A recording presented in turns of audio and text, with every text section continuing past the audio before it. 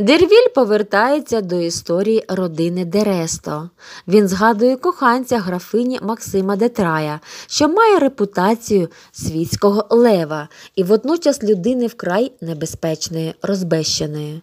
Це, за словами стряпчого, створіння дивовижне, на все придатне і ні до чого не здатне. Суб'єкт, який розбуджує в людях страх і зневагу, всезнайка і цілковитий неук, завжди готовий зробити добре діло і вчинити злочин. Іноді утілення самої підлоти, іноді заплямований кров'ю.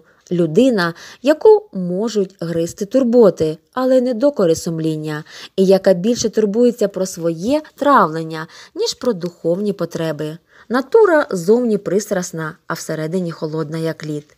Випадково пообіцявши допомогти Максиму Детраю, Дервіль разом з ним поїхав до Гопсека. Коли ми приїхали на вулицю Гре, світський лев почав озиратися навколо з такою напруженою тривогою, що я вкрай здивувався. Його обличчя то блідло, то червоніло, то навіть ставало жовтим. А коли він побачив двері будинку гопсека, на лобі в нього заблищали крапельки поту. Тої миті, коли ми вискочили з кабріолета, до вулиці Гре завернув фіакр. Своїм яструбиним оком світський чепурун одразу помітив у глибині того екіпажу жіночу постать, і на його обличчі промайнув вираз майже дикої радості. Він покликав вуличного хлопчика і попросив його потримати коня. Ми піднялися до старого лихваря. Пане Гопсек, сказав я, рекомендую вам одного зі своїх найкращих друзів. Остерігайтеся його, як чорта, прошепотів я на вуха старому. Сподіваюся, що на моє прохання ви повернете йому свою прихильність за високі відсотки, звісно, і визволите його зі скрути, якщо вам це вигідно. Пан Детрай вклонився лихвареві, сів і, готуючись вислухати його, прибрав улесливо граційної пози царедворця, що зачарувала кого завгодно. Але мій гопсек і далі сидів у креслі біля каміна нерухомо, незворушний і схожий на статую Вольтера. На знак привітання він тільки трохи підняв над головою зношеного кашкета, відкривши смужку жовтого, наче старий мармур черепа, яка довершила його схожість зі статуєю. Гроші я маю тільки для своїх постійних клієнтів, сказав він. То ви справді розсердилися, що я пішов розорятися до інших, сміючись, відповів граф. З вулиці почувся шум фіакра, що зупинився біля під'їзду. Зараз я принесу вам дещо і гадаю, ви будете задоволені, сказав молодик і вибіг з кімнати. О, сину мій. вигукнув гопсек, підвівшись і схопивши мене за руки. Якщо застава в нього справді цінна, ти мені врятував життя, адже я мало не вмер. Вербруст і Жигане надумали влаштувати мені лихий жарт, та завдяки тобі я сам сьогодні посміюся з них. У радості старого було щось моторошне. Уперше він так веселився при мені, і, хоч дуже короткою була та мить торжества, вона ніколи не зітреться з моєї пам'яті. Зробіть мені ласку і залиштеся тут, попросив він. Хоча при мені пістолети, і я певен, що не схиблю, адже мені доводилось і на тигра полювати, і битися на смерть у обердажній сутичці. Я проте ж остерігаюся цього елегантного мерзотника. Він сів у крісло за стіл, обличчя його знову стало блідим і спокійним. Так, так, озвався він, обернувшись до мене. Зараз ви, безперечно, побачите красуню, про яку я вам уже колись розповідав. Я чую в коридорі ходу дами аристократки. Справді, молодий Перун увійшов, ведучи під руку даму, у якій я одразу впізнав одну з дочок старого Горіо, а з розповіді Гопсека ту саму графиню, у чиїй спальні він колись побував. Графиня спочатку мене не помітила, бо я стояв у ніші вікна і відвернувся до шибки. Опинившись у похмурій кімнаті, лихваря вона скинула на Максима недовірливий погляд. Вона була така гарна, що я пожалів її, попри її гріхи. Певна, жорстока мука краяла її серце, шляхетні і горді риси судомлював погано прихований біль. Молодий Франт став її злим генієм. Мабуть, цей демон з ангельським обличчям, подумав я, панує над нею, користуючись з усіх її слабкостей, гордині, ревнощів, прагнення до втіх, до світської марноти. Добродію, чи можна одержати повну вартість за ці діаманти, проте, лишивши за собою право потім викупити їх? запитала графиня тремтячим голосом, подаючи гобсекові скриньку. Можна, ласкава пані, втрутився я до розмови, виходячи зі своєї криївки. Вона обернулася в мій бік, одразу мене впізнала, здригнулася і кинула на мене погляд, який усіма мовами означає не вказуйте мене. Юридичною мовою така угода називається продаж із правом наступного викупу, і полягає вона в передачі рухомого або нерухомого майна на певний час, по закінченні якого можна повернути свою власність, заплативши покупцеві обумовлену суму. Графиня зітхнула з полегкістю. Граф Максим спохмурнів, боячись, що за цієї умови лихвар дасть менше, адже вартість діамантів нестійка. Гопсек схопив лупу і заходився мовчки роздивлятися, що там лежало в скринці. Навіть якщо я проживу сто років, я не забуду тієї картини. Його бліде обличчя зарум'янилося, очі, у яких віддзеркалювалося близ діамантів, ніби спалахнули потойбічним вогнем. Він підвівся, підійшов до вікна, підніс діаманти до свого беззубого рота, мов би хотів їх пожерти підносячи до очей то браслети, то сережки з підвісками, то намиста, то діадеми, він белькотів щось незрозуміле і роздивлявся їх на світлі, щоб визначити відтінок, чистоту води і грані діаманта. Він діставав коштовності зі скриньки, клав їх туди знову витягував і обертав у себе перед очима, щоб вони заграли всіма своїми вогнями схожою у цей час більше на дитину, ніж на старого діда, а власне, і на дитину, і на діда водночас. Чудові діаманти. До революції такі коштували б 300 тисяч. Якої вони чистої води, безперечно, з Індії, з Голконди або Вішапура. Та хіба ви знаєте їм ціну? Ні, ні. У всьому Парижі один гопсек може їх оцінити. За імперії, щоб виготовити ці прикраси на замовлення, зажадали б не менше 200 тисяч. Він сердито махнув рукою і провадив. А нині діаманти щодня падають у ціні.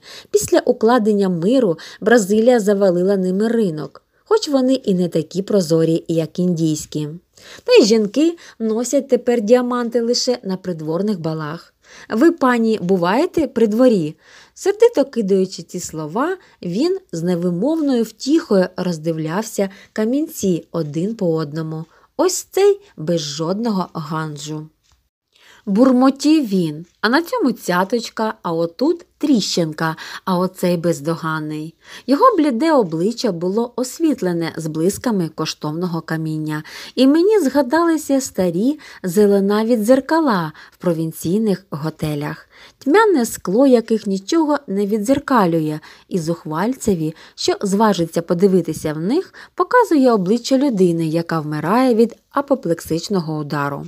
Ну, то як? спитав граф, ляснувши гопсека по плечу. Старий малюк здригнувся, він відірвався від улюблених цяцьок, поклав їх на письмовий стіл, сів у крісло і знову перетворився на лихваря, твердого, незворушного і холодного, як мармуровий стовп. Скільки вам треба? Сто тисяч франків на три роки, відповів граф. Можна, сказав гопсек, відкривши скриньку з червоного дерева і діставши свою коштовність бездоганно точні терези. Він зважив діаманти, визначаючи на око, бо зна вагу оправи. Під час цієї операції обличчя лихваря виявляла то радість, то незворушність. Я помітив, що графиня наче заціпеніла, поринувши в роздуми. Може, нарешті вона збагнула, у яку прірву скотилася, може, у душі цієї жінки ще лишилася крихта совісті, і треба тільки докласти одне зусилля, простягти співчутливу руку, щоб урятувати її. Отож я спробував подати їй руку. Ці діаманти належать вам, пані? напрямки запитав я. Так, відповіла вона, кинувши на мене погорливий погляд. Складайте угоду про продаж із правом викупу Базіко, мовив гопсек і, підвівшись за столу, показав мені на своє крісло. Ви, пані, звісно, маєте чоловіка, поставив я друге запитання. Графиня ледь нахилила голову. Я відмовляюся складати угоду, вигукнув я. Чому? запитав гопсек. Як чому? обурився я і, відвівши старого до нижче вікна, сказав йому впівголоса. Заміжня жінка в усьому залежить від чоловіка, угоду визнають недійсною, а вам не вдасться послатися на своє незнання у зв'язку з наявністю тексту угоди. Отож вам доведеться повернути власникові діаманти, віддані вам у заставу, адже в угоді буде вказано їхню вагу, вартість і грань. Гопсек урвав мене кивком голови та обернувся до двох злочинців. Він має рацію, сказав він. Умови змінюються. Я даю 80 тисяч готівкою, а ви залишаєте мені діаманти. Додав він глухим і тоненьким голоском. При угодах на рухоме майно власність краща від будь-яких паперів. Але, озвався був детрай. Або погоджуйтесь, або забирайте назад, сказав гопсек, повертаючи скриньку графині. Я і так ризикую.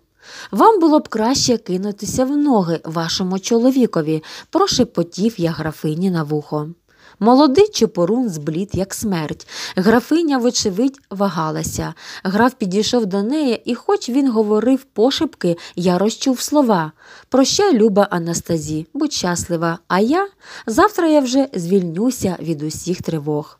Я приймаю ваші умови, добродію, вигукнула молода жінка, звертаючись до гопсека. От і гаразд, відповів старий. Нелегко ж вас умовити, красунечко. Він підписав банківський чек на 50 тисяч і подав його графині. А на додачу до цього, сказав він з усмішкою, що вельми скидалася на Вольтерівську. Я в рахунок платіжної суми дам вам на 30 тисяч векселів, надійність яких ви не будете заперечувати. Це те саме, якби я виклав вам цю суму золотом. Граф Детрай щойно заявив мені, мої векселі буде оплачено, додав гопсек, подаючи графині векселі з підписом графа Детрая, які напередодні опротестував хтось із гопсекових приятелів і які, мабуть, дісталися йому за безцінь. Молодий чупорун загарчав, і в тому гарчанні виразно почулися слова старий негідник. Та тось гопсек і бровою не ворухнув. Він дістав з картонної коробки два пістолети і холодно сказав Перший постріл мій за правом ображеної сторони. Максиме, ви повинні вибачитися перед паном гопсеком, тихо скрикнула графиня. Вона вся тремтіла. Я не мав наміру вас образити, пробелькотів граф. Я це знаю, спокійно відсказав гопсек. У ваші наміри входило тільки не заплатити за векселями. Графиня підвелася, уклонилася і вибігла, мабуть, охоплена жахом. Панові Детраю довелося вийти за нею, але на прощання він сказав Якщо ви, бодай словом прохопитеся про це, панове, пролється ваша кров або моя. Амінь, відповів йому гопсек, ховаючи пістолети. Щоб пролити свою кров, хлопче, треба мати її, а в тебе в жилах багно замість крові. Коли двері зачинились і обидва екіпажі від'їхали, гопсек підхопився на ноги і почав витанцьовувати, приказуючи а діаманти в мене, а діаманти тепер мої, чудові діаманти, бездоганні діаманти, і як дешево дісталися. Ха-ха, ага, верб росте і жигане. Ви хотіли ошукати старого гопсека? Ну так, хто кого ошукав? Ну то чи є зверху? Як роззявлять вони з подиву роти, коли між двома партіями в доміно я розповім їм про сьогоднішню оборудку. Ця люта радість, це торжество дикуна, який заволодів блискучими камінчиками, змусили мене здригнутись, я отетерів заціпенів. Цієї миті до лихваря увійшов Дересто. Він сподівався скасувати незаконно укладену дружиною угоду, але гопсек був невблаганний. Звернення до суду могло коштувати графові репутації, тож він мусив викупити діаманти. Невдовзі, щоб поберегти родинне майно від марнотратства Анастазі, Дересто вирішив доручити свої статки гопсеку. За фіктивними документами усі маєтки графа після його смерті повинні були перейти до лихваря. Водночас Дересто збирався підготувати зустрічну записку, яка гарантувала, що майно повернеться до його старшого сина Ернеста, коли той стане повнолітнім. Розписка мала зберігатися в Дервіля, але стряпчий її так і не отримав. Дізнавшись, що граф помер, Дервіль разом з гопсеком приїхали до його будинку. Юний Дересто попередив про небажаних візитерів матері. Вона саме метушилася в кімнаті небіжчика, шукаючи папери, у яких ішлося про спадок. Гопсек відкинув малого, наче пір'їнку, і відчинив двері. Яке видовище постало перед нашими очима? У кімнаті був справжній розгром. Графиня стояла посеред розкиданого повсюди одягу небіжчика, паперів, зібганого жужмом ганчір'я, і розгублено дивилася на нас блискучими очима, розпатлана з виразом розпачу на обличчі. Страшно було бачити такий хаос біля смертного ложа. Не встиг граф випустити дух, як його дружина повиламувала з письмового столу всі шухляди, порозбивала всі скриньки, порізала портфелі, килим навколо неї був усіяний клаптями паперу та уламками дерева. Її зухвалі руки обнишпорили геть усе.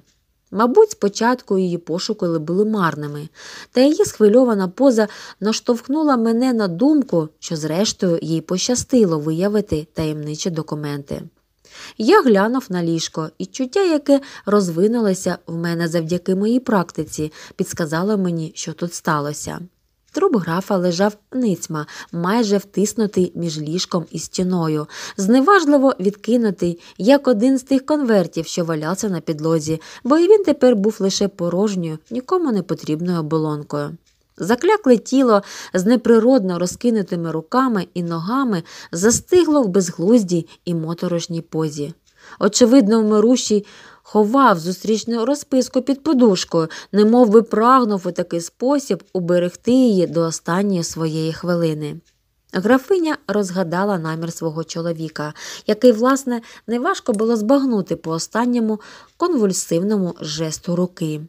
По коцюрблених мертвих пальцях подушка лежала на підлозі, і на ній іще віднівся слід жіночого черевичка а під ногами в графині я побачив роздертий пакет з гербовими печатями графа. Я швидко підняв пакет і прочитав напис, який свідчив, що вміст пакета належало п'яти мені. Я подивився на графиню пильним, проникливим і суворим поглядом.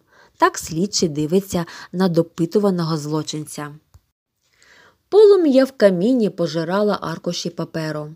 Почувши, що ми прийшли, графиня кинула їх у вогонь, бо уже в перших рядках документа прочитала імена своїх молодших дітей і подумала, що знищує заповіт, який позбавляє їх спадку. Тим часом, як за моєю настійною вимогою, спадок їм було там забезпечено. Стривожене сумління, мимовольний жах перед учиненим злочином затьмарили графиню розум. Побачивши, що її спіймано на гарячому, вона, можливо, вже уявила себе на ешафоті і відчула, як її таврують розпеченим залізом. Важко дихаючи і втупившись у нас нестямним поглядом, вона чекала наших перших слів. Ви розорили своїх дітей, сказав я, вихопивши з каміна клапоть паперу, який ще не встиг згоріти. Ці документи забезпечували їм спадщину. Рот у графині перекосився. Здавалося, її от-от розіб'є параліч. Хе-хе, проскрипів гопсек. І цей його вигук нагадав мені скрегіт мідного свічника, коли його пересувають по мармуровій підставці. Після короткої мовчанки старий сказав мені спокійнісіньким тоном.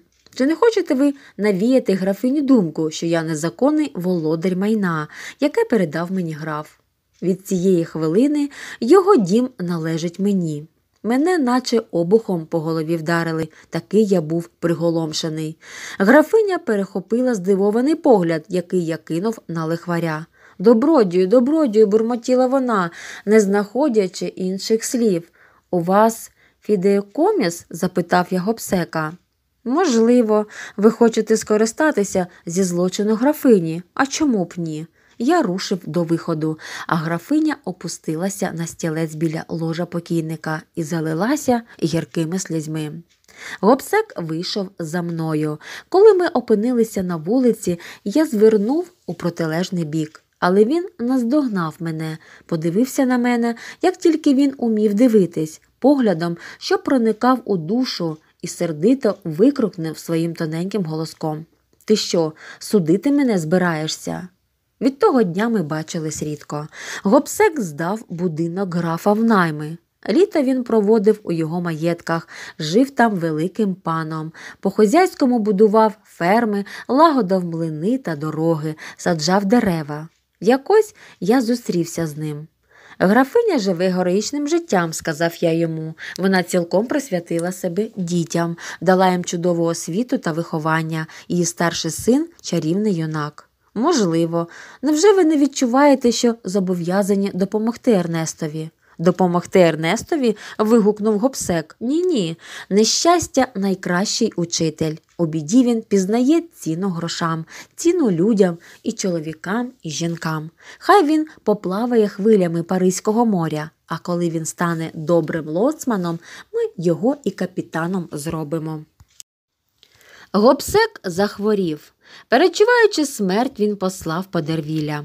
Та ось минулого понеділка гопсек прислав по мене інваліда, і той сказав, увійшовши до мого кабінету Їдьмо скоріше, пане Дервіль, хазяїн останні рахунки підбиває. Пожовтів, як лимон, хоче з вами поговорити. Смерть уже схопила його за горлянку, хрипить, от-от дух випустить. Увійшовши до кімнати вмирущого, я побачив, що він стоїть навколішки біля каміна, у якому, проте, не горів вогонь, а тільки лежала величезна купа попелу. Гопсек сповз із ліжка і дорачкував до каміна, але повсти назад у нього вже не було сили і не було голосу покликати на допомогу. Мій старий друже, сказав я, допомігши йому підвестися і дійти до ліжка. Вам холодно, чому ви не звеліли затопити камін? Мені не холодно, відповів він. Не треба топити камін, не треба. Я йду звідси, голубе. Вів він далі, кинувши на мене уже згаслий холодний погляд. Куди йду, не знаю, але вже не повернуся. У мене карфологія почалася, додав він, уживши медичний термін, що свідчило про цілковиту ясність свідомості. Мені привиділося, ніби на підлозі котяться золоті монети, і я підвівся зібрати їх. Кому ж дістанеться моє добро? Я не хочу віддавати його державі. Я склав заповіт. Знайди його, Гроцію. У прекрасної голландки залишилася дочка. Якось увечері я бачив її, не пам'ятаю в кого на вулиці Вів'єн. Вона має прізвисько Змійка, здається, так, гарненька, мов купідон, відшукає її Гроцію. Я тебе призначив виконавцем своєї духівниці. Бери тут усе, що хочеш, їж. Є в мене паштети з гусячої печінки, мішки з кавою і з цукром, є золоті ложки. Візьми для своєї дружини сервіс роботи одіо. А кому ж діаманти? Ти нюхаєш тютюн, голубе? У мене багато тютюну різних гатунків. Продай його в Гамбург, там у півтори рази дорожче дадуть. Усе в мене є, і з усім треба розлучитися. Ну, татусю, гопсек, кріпися, будь собою. Він випростався і майже сів на ліжко. Його обличчя, мов бронзове, чітко вирізнилося на тлі подушки. Він простяг перед собою висхлі руки і вчепився кощавими пальцями в ковдру, наче хотів за неї утримати. Подивиться на камін, такий самий холодний, як його металевий погляд, і помер при повній свідомості, явивши воротарці інвалідові та мені образ одного з тих насторожених старих римлян, яких Летьєр зобразив позаду консулів на своїй картині Смерть дітей Брута. По молодецькому врізав дуба старий жмикрут, сказав інвалід своїм солдатським жаргоном. А в моїх вухах досі лунав фантастичний перелік багатств небіжчика, і, побачивши, куди спрямований його застиглий погляд, я мимоволі глянув на купу попелу. Вона здалася мені надто великою. Узявши камінні щипці, я встромив їх у попіл, і вони наткнулися на щось тверде. Там лежало золото і срібло, мабуть, його прибутки за час хвороби. У нього вже не було сили заховати їх краще, а підозріливість не дозволила відіслати все це до банку. Біжіть до мирового судді, сказав я інвалідові. Треба тут негайно все опечатати. Згадавши останні слова гопсека і те, що сказала мені воротарка, я взяв ключі від кімнат обох поверхів і пішов оглянути їх. Уже в першій я знайшов пояснення його балачкам і побачив, до чого може дійти скупість, коли вона перетворюється на сліпий інстинкт, скупість, вияви якої ми так часто спостерігаємо у провінційних скнар. У кімнаті, суміжній зі спальною небіжчика, я виявив і протухлі паштети, і купи всілякого харчу, і навіть устриці та рибу, укриту густою пліснявою. Я мало не задихнувся від смороду, усе кишило червою та комашнею. Ці дарунки, одержані не так давно, лежали впереміж із ящиками всіляких розмірів, з паками чаю, з мішками кави. На каміні зберігалися накладні вантажів, що надійшли на його ім'я в портові склади Гавра. Тюки бавовни, ящики цукру, барила рому, кава, індиго, тютюн, цілий базар колоніальних товарів. Кімната була захаращена меблями, срібними виробами, лампами, картинами, вазами, книжками, чудовими гравюрами без рам, згорнутими в трубку, і найрізноманітнішими рідкісними речами. Можливо, не вся ця гора коштовних речей складалася з подарунків. Частина з них, певне, були речі, віддані під заставу і вчасно новикуплені. Я бачив там скриньки з коштовностями, прикрашені гербами або вензелями, білосніжні скатерті, зброю дорогу, але без клейма.